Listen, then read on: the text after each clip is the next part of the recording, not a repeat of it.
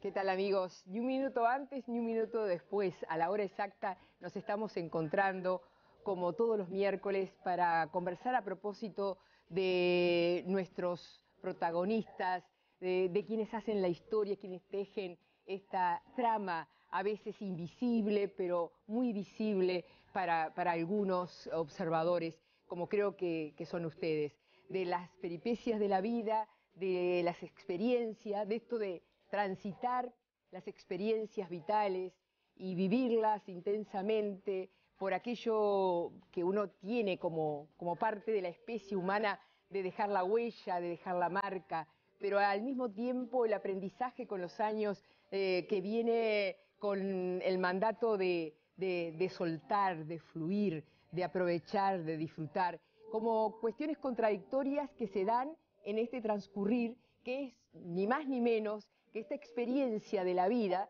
esta experiencia del espíritu transitando eh, por un camino material.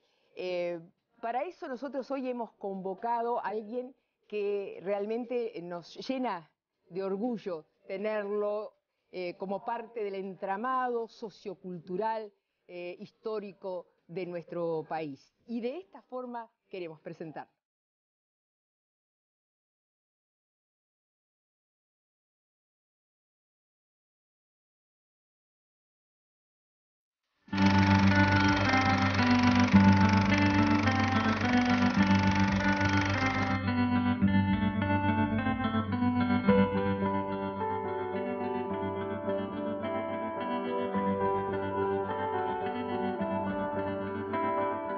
Daniel Vidart es antropólogo, escritor, investigador y docente. Nació en el departamento de Paysandú en 1920. No olvidaré nunca el espectáculo de los atardeceres, ¿eh? cuando se desangraba el cielo sobre el río Uruguay, sobre la isla Caridad. Daniel estudió en la Facultad de Derecho de la Universidad de la República y en la Universidad Nacional de Colombia. De una escuela rural salí a dar examen de ingreso. Cursé el liceo, cursé preparatorio, cursé la facultad. Ocupó a lo largo de su carrera varios cargos, entre ellos el de vicepresidente del SODRE y director del Centro de Estudios Antropológicos Dr. Paul Rivet. Es un gran país el Uruguay. Es, para mí es un gran país y hay como en un iceberg lo que se muestra y lo que no se conoce. Tiene más de 30 libros editados. Hago, libros. Su última obra es Marihuana, la flor del cáñamo. Realizó varias investigaciones sobre Artigas, el gaucho, los negros, el tango. Todo libro, de alguna manera, es biográfico, se diga o no se diga.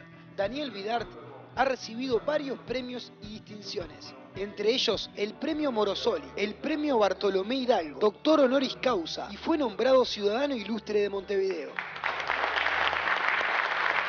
Hacerte entrega del doctorado honoris causa de la Universidad.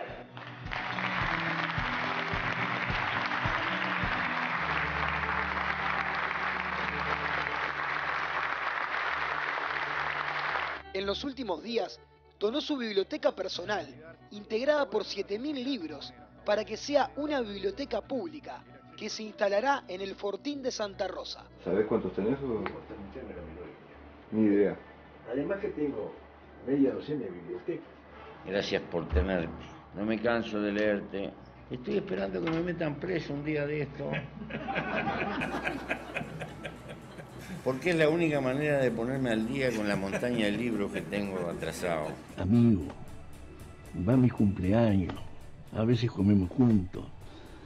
Mm, la estructura mental del Pepe, que es un hombre que está muy solo, que está muy solo, tiene un extraordinario valor desconocido por mucha gente, porque es un pensador. Y la gente a veces lo critica porque, claro, la realidad no se compromete ni coincide con los deseos, ¿verdad?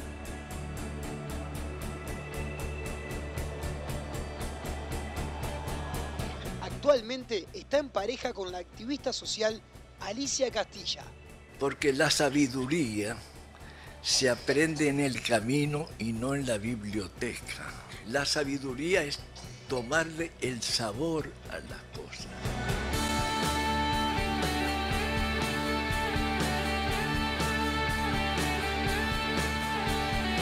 Yo soy un hombre, como se dice en francés, cul à terre. Soy enemigo de la teoría y enemigo de la fantasía. Quien da la vuelta al mundo aprende algo que es muy difícil de aprender, que es la modestia. ¿eh? Parece una paradoja. El camino más corto para conocerse a sí mismo es dar la vuelta al mundo.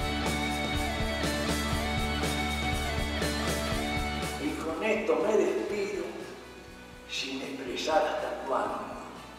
Siempre corta por lo blando, quien corta por lo seguro, pero yo corto por lo duro y así he de seguir cortando. A mi pueblo, el gran pueblo uruguayo, con agradecido amor.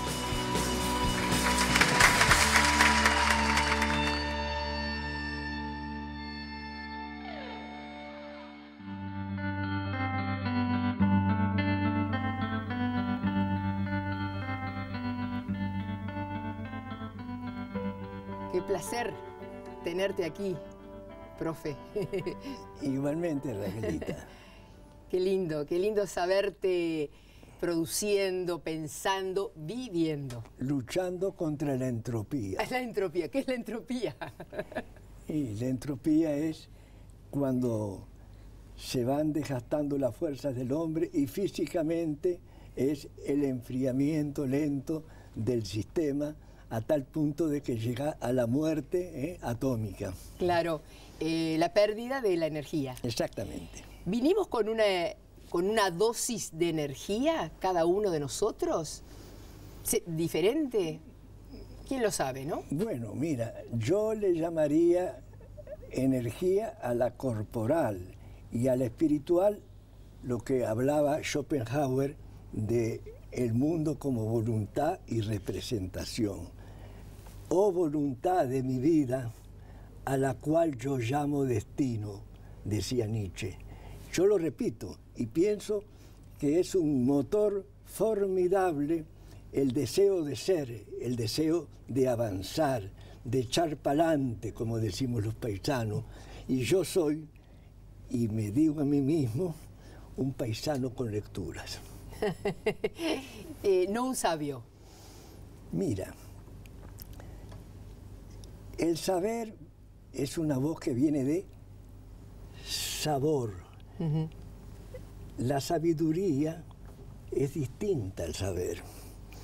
De alguna manera el saber es la memoria de muchos libros, mm, de acontecimientos, mm, un registro. Pero la sabiduría tiene un sentido activo. La sabiduría es hija del camino. Tomarle el sabor a los hombres, mujeres y a las cosas. De alguna manera lo he definido a la sabiduría como la gota de miel del higo maduro. Ajá. Aquella gota de miel que hablaban los dioses eh, de la Grecia, ¿no? Por, para ir a algún lugar así medio lejos, medio, medio lejos en el tiempo. El mundo es pequeño.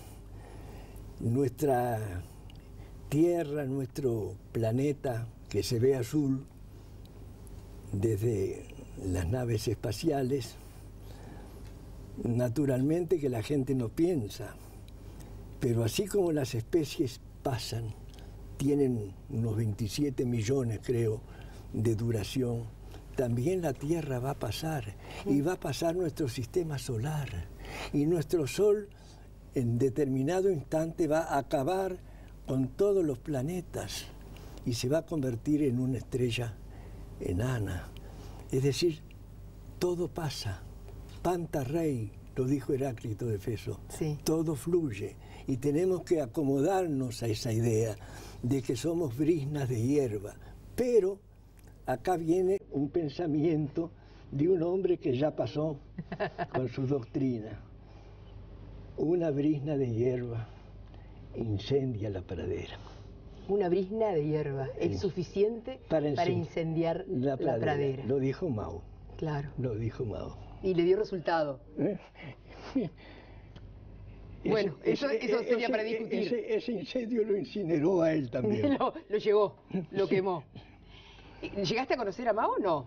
No. No. Pero Mujica conocí- lo conoció no, a Mao. Conocí a Chu Enlai con el cual estuve conversando. Ah, después de esta pausa hablamos de eso, de Chu Enlai, de la marihuana flor de cáñamo, de aquel viaje a Mongolia de tu juventud. No tanta. No tanta, de No. edad media, pero lo que pasa es que, ¿cuántos años tenías? ¿40 y algo? Eh, Tenía 45. 45, mira que yo me acuerdo eh, de tu relato. Ya venimos, amigos. Ahora tengo más del doble. 94. Qué maravilla.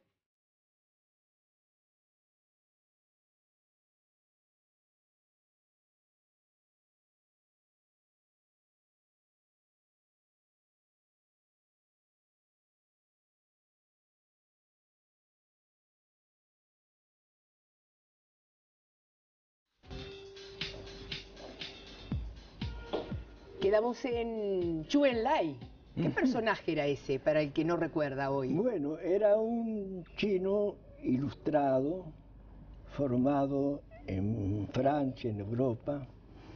Hacía pandan con Mao en el sentido que tenía una visión más universalista, ¿verdad? Mao era la China profunda y mucho más, porque había leído mucho. Mao, por ejemplo, conocía perfectamente a Kant. Había leído a Kant. No, no, no, eran Muy hombres de gran capacidad. Y en el palacio del pueblo se hizo una cena cuando yo estaba de visita en China y me sentaron muy cerca de Chu Enlai. Estaba en una mesa, habían puesto un, un- un general, un escritor, una actriz cinematográfica, Mm. ¿eh? Mm. este, y dos amigos que eran de América, que Ajá. éramos un grupo de sudamericanos que había ido eran a Chile. antropólogos Claro. todos? No, no, no, no, era, era algunos políticos, Ajá. en fin, ¿no? Y yo, entonces, cuando estaba Chu Enlai, miró para nosotros y saludó, y dijo, ¿cómo se va? Este, oh, Sí. y, y- empezamos a cruzar palabritas. Ujú. este, no me pongo en personaje, fue un, Un saludo. Un saludo y, no, y unas palabritas más. Este, me preguntó cómo estaba, que China era enorme, que tenía que caminar con los ojos bien abiertos por China. Ujú. ¿m?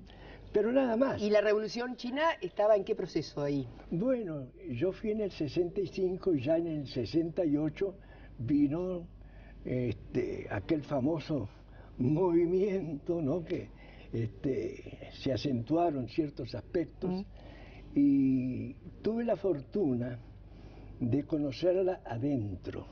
Como yo era geógrafo, había estudiado la geografía humana mucho y es decir, quien es antropólogo, quien es sociólogo o quien tiene interés por el hombre. La verdad es que yo seguí, sin saberlo, aquel famoso consejo de Terencio. Hombre soy, nada del humano me es ajeno. Por lo tanto, para mí la antropología, la sociología, la geografía humana conforman un tríptico que se, se, se autoalimenta. Claro, Claro, se sostienen a sí mismas, ¿no? Exactamente, se correlacionan y efectivamente me interesa mucho más que las ciudades los campos. Los campos. Los campos. Y, a- via- y había en China para... por los campos de China y estando... eh, ¿En Mongolia? eh, no, no, no, no, no, todavía no. Todavía no llega. Estando, estando a unos 5 o 6 kilómetros de la zona donde acampa la gran marcha de Sí, Mao, Sí. ¿eh? en una zona de cavernas hechas en la, en la roca, Ujú. troglodita, las, las habitaciones troglodíticas, en Sensi. Mi guía dice, vamos a bajarnos del jeep y vamos caminando para revivir la gran marcha. Marcha. ¿eh? Y me fui a pie hasta justamente donde estaban y escribí, eso lo escribí, porque vivían metidos dentro de esas cavernas hechas en, ¿Arenisca rocas, o qué? rocas sedimentarias. Y arriba estaban los cultivos. Mm. Y entre los cultivos estaban las tumbas la tumba de los antepasados, cuyos huesos se veía, ¿verdad?, el calcio de los huesos, y escribí, mientras que allá arriba el hueso, los huesos de los antepasados fecundaban la tierra y estaban vinculados a la vida, Abajo. los que estaban dentro de las cuevas parecían los muertos. Uh, fuerte imagen, fuerte, fuerte, sí, esa imagen. fuerte. Lindo haberlo vivido para, ser, para testimoniar hoy. Aquí, Exactamente. ¿cuántos años después de esa experiencia estamos? Dijimos 45 años después, Y- y- más o menos. Y fue en el año 65. Ahí está. ¿Y, y- y lo de Mongolia fue la primera experiencia con drogas? Mira, efectivamente, el tema es muy interesante. Me presentaron en Mongolia como acompañante al subdirector de la Sociedad de Cantores Populares de Mongolia. Un hombre muy compenetrado con las tradiciones, con la vida rural. Anduvimos a caballo por las yurtas, etc. Y teníamos una enorme necesidad de comunicarnos. Lo hacíamos por seña. Descubrí en ese momento la riqueza de imaginación y posibilidades de poder decir muchas cosas sin saber una sola palabra de, el- de la lengua del otro, ¿no? Pero teníamos la necesidad de hablar. Entonces, en la noche en que íbamos a volver a Pekín, me hizo quedar con él en la mesa, tomamos el motay, después el motay está hecho a partir del arroz, ¿no? Y ¿Qué es, un licor, el motay? Sí, sí, sí, el motay es, es una bebida muy fuerte. Después tomamos una bebida, él se levantó, hecha a partir de la, de la leche fermentada y destilada. Era la complementación, el yin y el yang siempre, ¿no? Sí. Luego empezó a golpear la mesa y me invitó y finalmente me dio, dio un frasquito para que bebiera y él bebió. Y en ese momento, al rato, no pasó mucho rato, empecé a sentir una...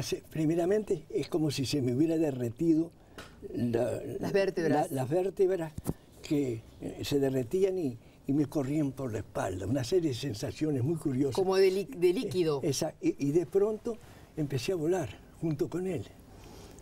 Y recorrimos las cuatro, los cuatro puntos cardinales de la vida, la infancia, la adolescencia Sí. y juventud, la vida ya adulta y lo que podía ser nuestra obsolescencia, nuestra última etapa, y en cada una de ellas, y yo tengo un libro escrito sobre el tema, ¿no? sí. En cada una de ellas veíamos distintos aspectos de nuestra vida y nos lo comunicábamos, porque había una gran compenetración psíquica de los espíritus, provocada justamente por El efecto. el efecto ese. No, no seguí, porque no podía seguir con la amanita muscaria, pero me interesó mucho el tema y cuando estaba en Colombia, años después, que viví 11 años en Colombia, me preocupó muchísimo el coqueo indígena. no, el, eh, eh, no el cocainismo, sino el cocaísmo, Sí, sí, sí. que es distinto. Cuando mascan el- la coca No la mascan. No la mascan. La ponen debajo del carrillo, la empapan con saliva, calean, tienen Ajá. que poner una base, y entonces la cognina, que se forma con la saliva, se transforma en cocaína, que son pequeñísimas dosis, pero que, ¿qué le dan al indígena? Le dan fuerza para trepar la montaña, capacidad de soportar largas jornadas sin comer contra el hambre y contra el apunamiento, De la el- altura. el, soroche, el Soroche. soroche, porque están trabajando a 4.000 metros, ¿no? La papa, la papa paramuna, por ejemplo, está a 4.000 metros. De altura, ¿eh? del mar, claro, y están todo el día trabajando. Sí. De manera que me interesó enormemente y escribí ese libro este, es decir, no es, una, parte de un libro, porque en, ese libro recojo primeramente el capítulo largo, ya son 100 hojas más o menos sobre el cocaísmo, y el segundo, la segunda parte está el viaje chamánico, este, este claro, chamánico. Es que eso fue chamánico totalmente, como lo cuenta Castaneda. Él, era un chamán, él era un chamán. Ah, era un chamán. Era un chamán. Bien. Y, dirigió. ¿Cómo, hace, eh, cómo, cómo hizo Daniel eh, Vidar, eh, cómo hiciste para, para, para, diferenciar la experiencia antropológica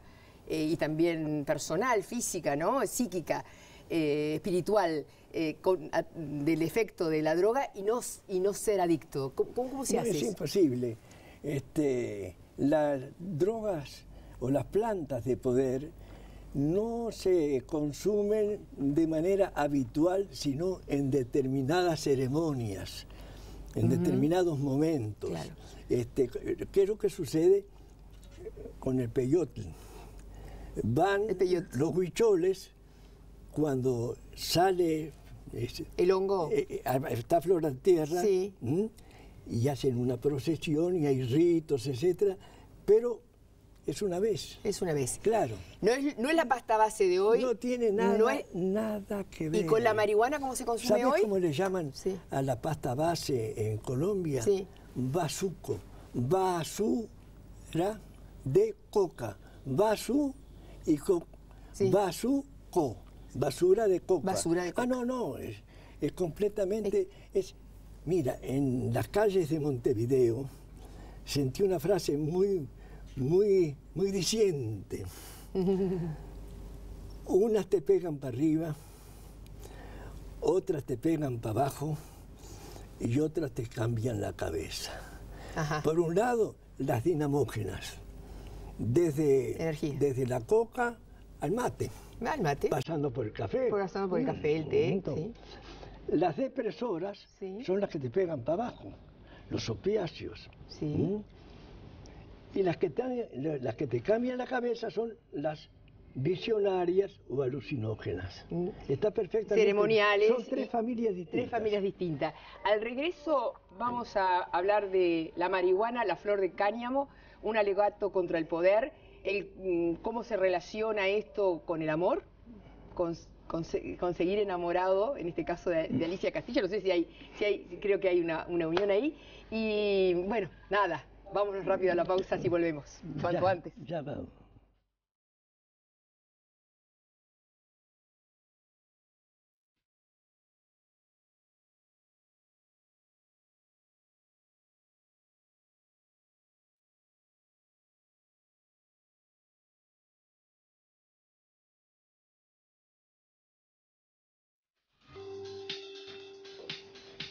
Vera más Netflix, la diversión está contigo. Con el nuevo contrato Vera, el LTE, eh, Antel regala seis meses de suscripción a Netflix para que se disfrute de online de películas, series, eh, sin cortes y en HD. A la mejor conexión, sumale el mejor entretenimiento. Condiciones en antel.com.uy. Antel avanzamos.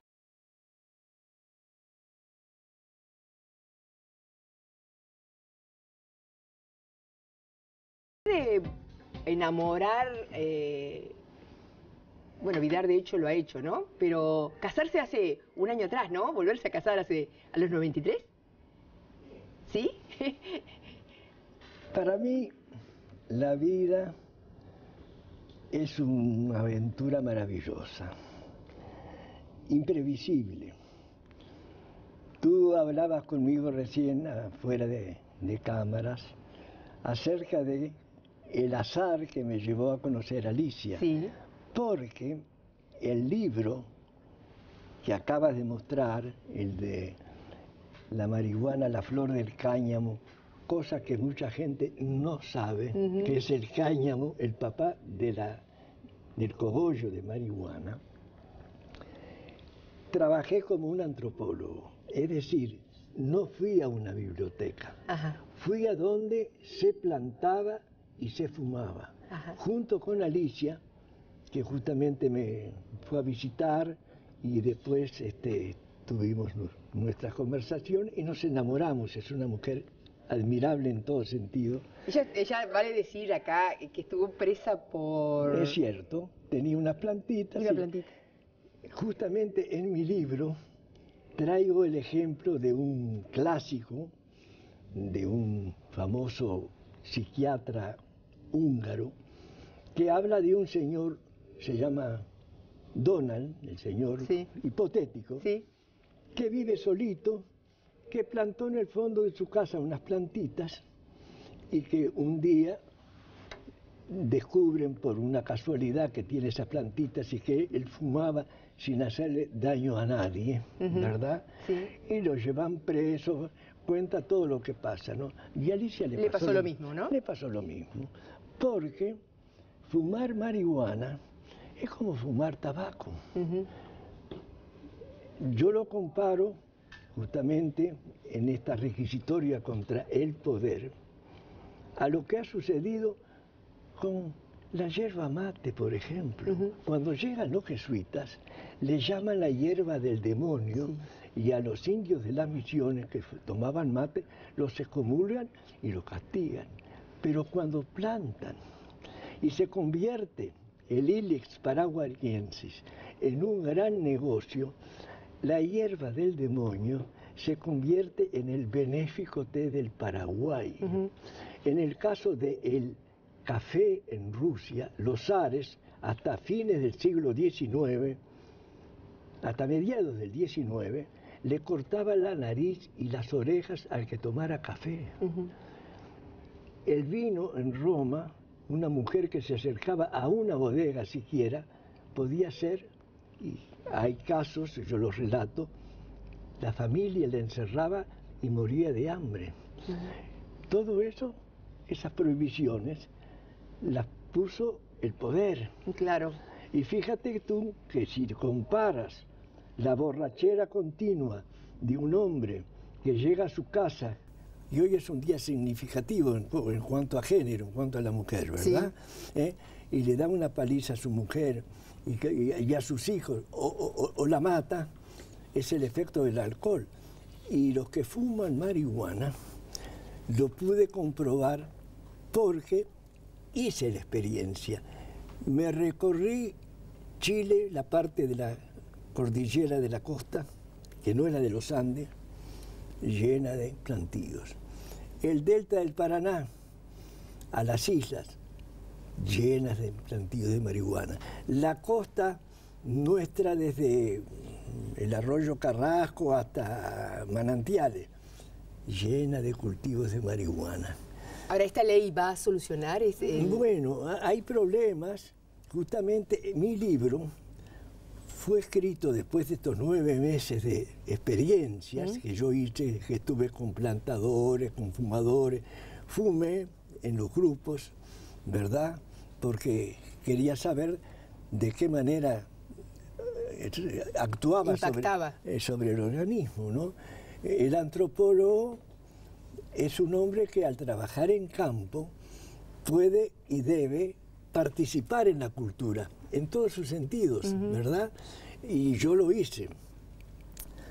Y paralelamente tuve dos grandes apoyos. La biblioteca de Alicia, que es extraordinaria sobre el tema, más algunas cosas que yo tenía bibliográficas, y las conversaciones con ella, que conoce muy bien el tema, tiene 70 años, goza de gran salud, tiene un cutis de muchacha, una cabeza fresca. Y aquí, ve- y aquí vemos eh, también Sí. parte de, de- de- Claro. de los que tú me decías, de los remedios y de no, las... No hay, como, no hay como la experiencia. No, pero ella con, con, con, con- con marihuana y eso no hace No, determinado... no, mira, la, la marihuana tiene, y lo estudio en el libro, cinco aplicaciones distintas. Tú no estás haciendo la apología de, de la droga en este, ca- en Yo este estoy momento. hablando objetivamente de lo que la historia y la experiencia contemporánea demuestra. Sigo el consejo de Spinoza, no aplaudir ni criticar de antemano, tratar de entender. Y las cinco aplicaciones son, por un lado, la ritual. Pongo todos los rituales de las religiones vinculados con la marihuana. Por otro lado, la terapéutica. Es impresionante cómo a lo largo de la historia se empleó y se sigue empleando desde el punto de vista terapéutico. En tercer lugar, la que podríamos llamar gastronómica, porque también se incorpora a las comidas. En cuarto lugar, la industrial. Es impresionante todo lo que sale del cáñamo Claro. y de los cañamones, que son las semillas. Un capítulo importantísimo. Y finalmente, el recreativo o hedónico, Que es lo que conocemos más nosotros. es exactamente. Entonces, el libro es dialéctico. Por un lado, hasta el año 37, que viene la gran ley, el gran obstáculo que se pone en los Estados Unidos, ¿La ley seca? la gente fumaba, Washington, Jefferson tenían plantíos de cáñamo, Washington pedía que le mandaran buenas semillas, que por cierto no eran para, para, para el cáñamo como, te- como textil, sí. sino que era para fumarse su buenos porros. Ajá. ¿Mm? Se fumó a todos a lo largo- ¿Hace daño? La- eh, depe- depende de cómo, de cómo se haga, ¿no? ¿Cómo? ¿Hace daño el, el- el- la marihuana? Digo, Mira, si afecta a la salud Hay- mental, física. Hay discusiones. Yo pongo en el libro, sin quitar ni poner rey, los dictámenes de cinco comisiones científicas. Una de la India, cuando estaba ocupada por los ingleses, otra del Canal de Panamá, otra que mandó a hacer Fiorello La Guardia, otra la Edén, que la mandó a hacer en Canadá, que fue completísima, y otra que mandó a hacer Giscard d'Estaing a otro equipo.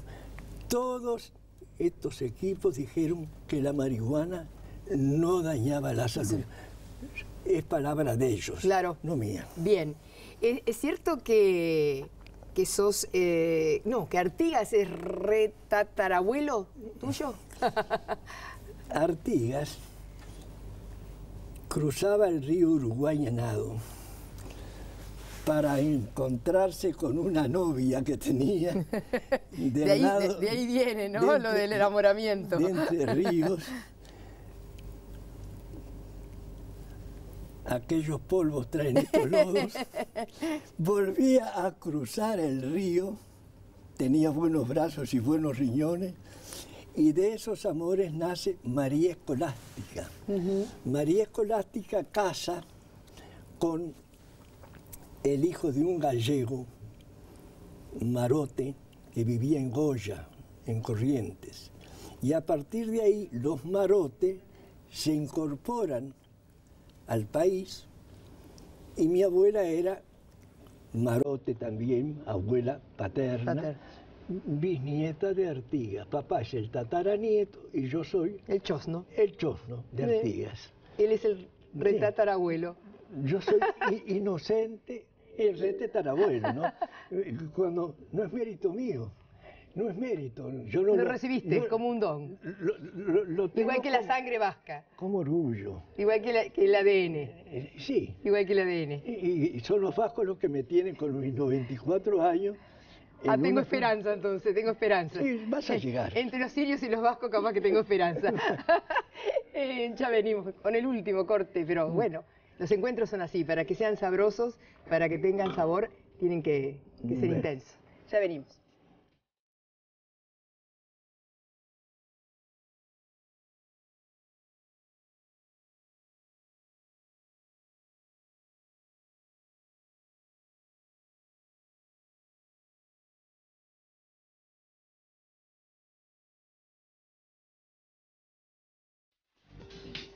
Para el profesor, antropólogo, geógrafo, historiador, eh, sabio, digo yo, él ya dijo que tiene muchos saberes, pero sabiduría es otra cosa. Yo digo también sabio Daniel Vidar.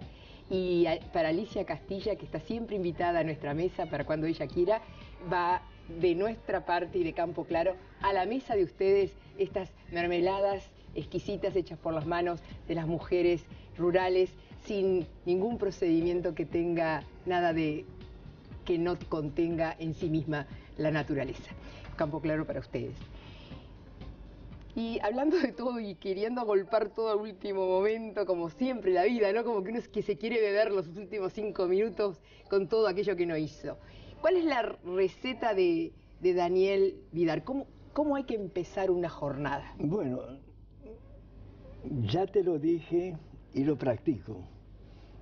No tener los días baldíos. Yo me levanto con un trabajo ya ordenado en la noche anterior y lo realizo en ese día. Escribo mucho, leo mucho, leí mucho, pienso mucho, tengo la fortuna de ya con el sol a la espalda haber ido a un balneario donde vivimos con Alicia, frente al mar, a una cuadra del mar, rodeados de flores, de calandrias, de pájaros, un buen aire, y yo me paso mis buenas horas, a veces estoy hasta ocho horas escribiendo, porque fuera de la atención que hago a una especie de universidad este, libre y refrescante que inauguré en el Facebook, que tengo mi clientela, ¿de quién?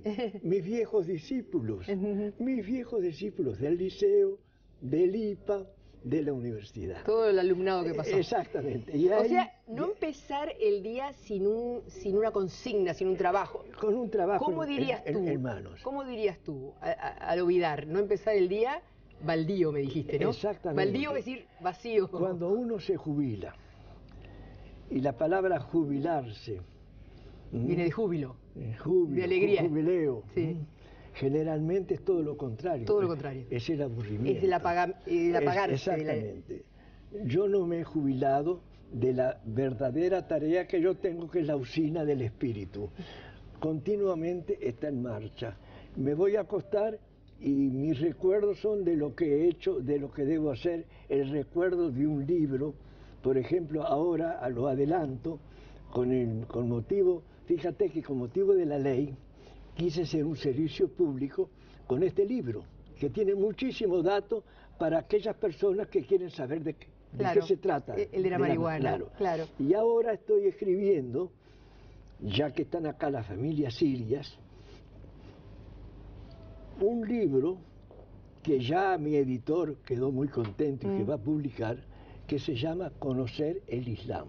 Qué, qué interesante. Pero no es un libro que combata a- al Estado Islámico o al no. yihad, al yihad, Ah, no la yihad, Sí, sí. porque sé bastantes palabras en árabe, Sí, sí. bastantes palabras porque entre los 12 años y los 16 tuve un maestro musulmán que me adiestró muchísimo en el conocimiento del Corán, Del Corán. y de los hadices. Y lo estoy escribiendo este libro.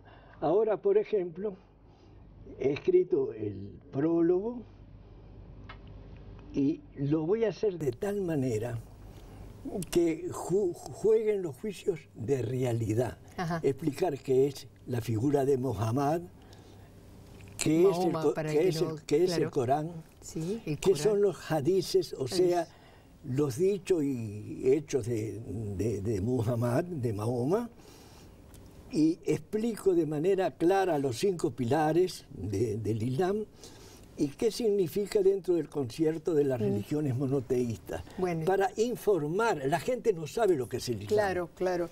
Eh, está muy bueno, muy bueno. Eh, hay, hay- hay mucha necesidad de saber. Eh, lo decía Mujica cuando tú donaste los libros, ¿no? Que iba a hacerlo eh, algunos méritos para ir preso. Hoy anduvo medio, medio haciendo méritos. ¿Qué le pasó hoy? en- No, en, en realidad sentí el rum rum. Sí, sí. Son esas salidas que tiene el Sí. Pepe, este, eh, que son improntus. Él decía que tenía ganas de, de que lo mm, pusieran en el calabozo para leer un poco. Ah, no, eso fue lo Eso fue un chiste, claro, claro, claro. Eh, hay una, lo de hoy no sé qué fue. ¿Tú hay- miraste hay el una noticiero? noticia, Sí. una noticia que no hemos hablado de ella, que es la donación de mi biblioteca Sí. a la Comuna Canaria, que va a construir un edificio a 30 metros y en el fondo de donde yo vivo. Voy a tener la biblioteca organizada y va a ser de uso público, naturalmente. Y lo, que, y lo que no saben es que tú vas a tener Claro. mucho tiempo todavía para, para seguir. por su- espero. claro, Por lo claro. menos hasta que se haga voy a dar. Mujica eh, trascendió las fronteras tú lo conoces desde hace, jóvenes. Hace mucho tiempo. Este, y tenemos una relación muy especial porque... ¿Desde que eran tupamaros ambos se conocen o, desde, no, o cómo? eh, nos conocemos de siempre. Esa es una contestación bien, bien, bien de alguien que tuvo que guardar secreto. Escúchame. ya la gente no sabe lo que es eso, es guardar secretos. Escúchame, este, eh, eh, eh, los amigos no tienen toma y daca. Yo jamás lo molesté para pedirle o para mí o para alguien, ¿verdad? Es así. Ni a los ministros que los conozco desde muchacho. A Bonomi lo conocí de 16 años. Estuve de visita en casa hace tres días. Al ministro de Educación lo conocí a los 18 años. Bueno, me estás nombrando gente que fue que estuvo presa toda. ¿Tú estuviste preso? No estuve preso. Tenía que haber estado preso, pero voy a decir por vez primera, muy poca gente en Uruguay lo sabe, que cuando venía de Buenos Aires un día, después de haber pasado un año y medio en Chile, y que Michelini había arreglado con mm, uno de los jefes, con Trabal había hablado. ¿Con Trabal? Para, sí, para que yo pudiera, que, era- que estaba en inteligencia, Sí. que yo pudi- Que caí tú pudieras pre- regresar. Caí preso, caí preso en el aeropuerto. Me llevaron allí. ¿A San ocho- José y G? Allí, allí. Mm. Este, ya me, me avisaron ahí que iba a ser larga la cosa. La estadía. A las 8 de la mañana cae a la celda mi compañero de truco en preparatorios, con el cual habíamos constituido una pareja absolutamente imbatible. Era Piris Castañé, su jefe de policía. Me dio un abrazo, un beso y me sacó para la Argentina. Oh, Si sabe esto, Castiglione me caga a patadas. en aquel Me- momento, me dijo ¿no? eso. Quiere decir que quiero recordar que la amistad, la vieja, profunda amistad que tenía con aquel paisano como yo, se sobrepuso a la política. Se sobrepuso a aquel momento tan terrible que estaba viviendo el país y que estábamos viviendo los opositores y que estábamos en una posición muy radical en contra del gobierno. Mm, Quiero recordar también y tengo, son las dos fotografías que tengo en casa, la del general Sereñi y la del Pepe. Estuve sentado en el estrado junto con Enrique Erro en aquella noche del 26 de marzo, cuando en aquel estrado frente a la Intendencia de Montevideo se lanza al proceloso mar de la política el Frente Amplio. Es una honra para mí haber estado en aquel instante y sigo siendo, te puedo decir que un, un apoyo crítico. No, no, no, no, no, no aplaudo cuando veo que hay un resquicio donde puede haber una acción más constructiva, lo advierto, porque en la política no se trata de religión, que hay que aceptar con fe absoluta, Sí. sino que la política tiene que ver con la polis.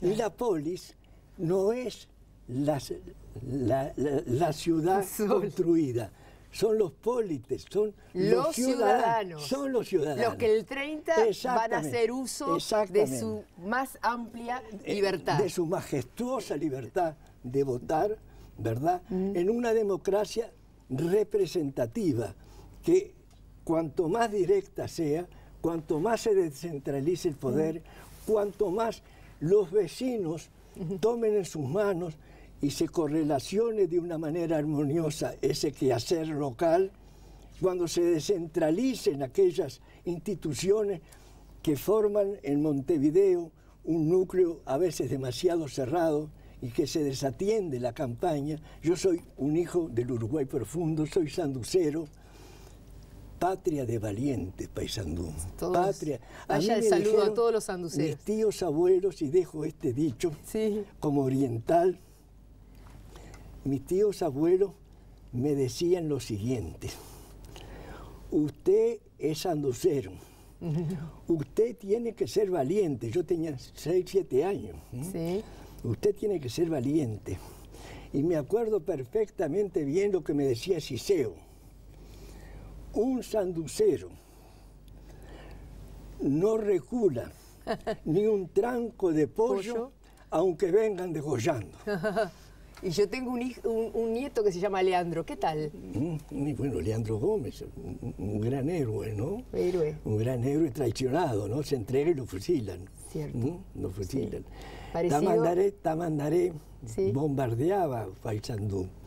Paysandú era un pequeño núcleo frente a, a- a miles y miles. Al poder imperial. Eh, claro, el poder imperial, en fin, toda una epopeya, toda una epopeya. Epopeya. Este, y claro, otros momentos de América, en este instante, América del Sur mm, se está organizando de una manera distinta, han desaparecido las dictaduras, Ayer estaba una chica guatemalteca Sí. que fue traída acá al Uruguay. dijo que era, que era populista don, don Pepe Valle. Y Don- que el populismo eh, eh, atrasa el- la educación, la, la educación está en el foco de la crítica más grande, digamos, este, ciudadana hoy, ¿no? Todo el mundo está preocupado. En todo el mundo hay un pozo negro, un Mm. agujero negro en la educación. En todo el mundo. Porque ha terminado, vamos a llamar el editorial, y está solamente el titular. La gente lee los titulares y no piensa. Una frase hecha Mm, Estamos en sustituye... eso. Es el mundo del Facebook, del Twitter, donde Una, una frase hecha sustituye un razonamiento a favor o en contra. Y como que las frases hechas están todas flechadas, la gente está desinformada. Y cuando informan, o mejor dicho, deforman, están mostrando hechos que evitan, eh, es, como dijo recién un señor llamado Daniel, te muestran a ti del témpano solamente lo que sobresale y lo profundo no se cuenta. ¿Y cuándo vos se va, cómo se camina hacia, hacia, hacia eso profundo, ¿no? Hacia... Bueno, mira, eh, yo hablaba de lo profundo que es todos aquellos manejos que hay que no llegan al público, ¿verdad? Este, pero hablando de profundidades de otro tipo, el deseo ferviente que tengo yo, pese a las fallas que tiene la condición humana, que no somos perfectos, que sucumbimos al poder, a la soberbia, a la envidia, al odio, a la mala entraña, pero que tenemos también un lado luminoso, tratar de organizar, si es posible y si no es utópico, de tal manera que la pública felicidad llegue a todos en un estado donde el poder y la soberbia vayan cediendo y depositando como hacían los viejos vascos de las pequeñas aldeas debajo de los árboles que no eran los de Guernica, una democracia directa. Ese es el sueño. ¿eh? Esa es- esta vamos, es la a, va- vamos a brindar. Vamos a brindar con la- el vino Tanat más premiado, H. Más premiado del mundo. Bueno, Es un placer, el viejo de H. Stagnari, pero nada que ver con este hombre joven que tengo acá, lleno de, de sabiduría. bueno, salud. ¿Por, por qué brindamos entonces? Por un mundo mejor. brindamos por una patria feliz, por un, Uruguay que sea profundamente democrático y por la felicidad de mis compatriotas. Salud, que así Salud. sea. Y Gracias, por- profesor. Y por ti, que has sido tan gentil. Gracias, gracias por venir. Gracias por estar, gracias por existir, gracias por ser uruguayo. Hasta el miércoles, amigos.